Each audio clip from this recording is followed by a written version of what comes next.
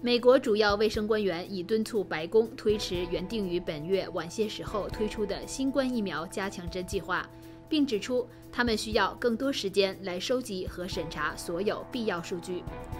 美国 FDA 代理局长珍妮特·伍德考克和美国 CDC 主任瓦伦斯基九月二日警告称，监管机构目前只能为辉瑞新冠疫苗的接种者推荐加强注射。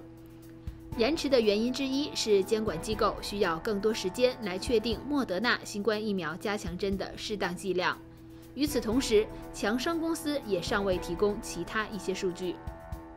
白宫发言人克里斯米格九月三日称。他们会遵循科学。政府正在等待加强针的全面审查和批准，以及 CDC 的建议。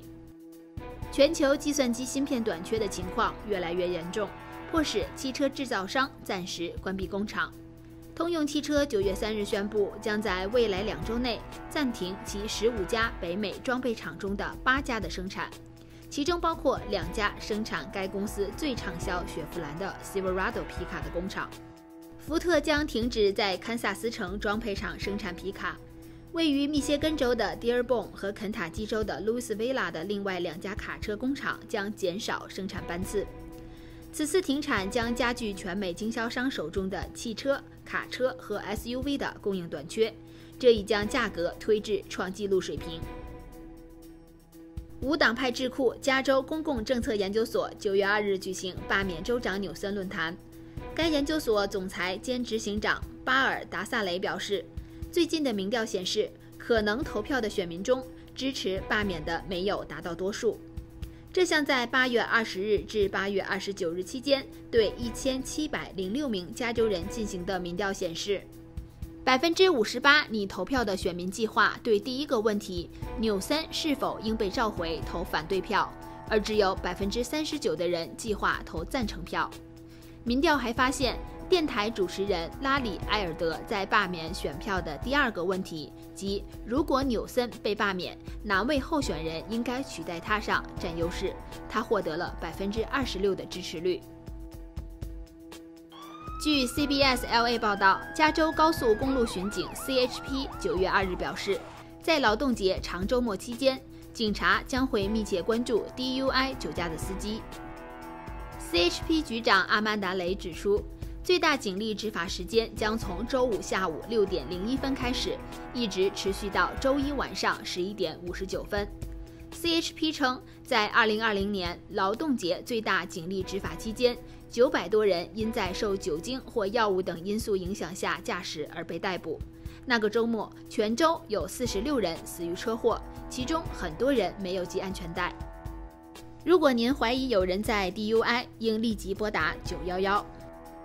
九月三日，日本首相菅义伟在自民党临时干部会议上表示，将不会参加自民党总裁选举，确定将卸任首相一职。会后，菅义伟表示，自己成为首相这一年，以新冠疫情对策为主，竭尽全力采取了措施。新冠疫情对策和总裁选举的选举活动需要非常大的能量，无法兼顾。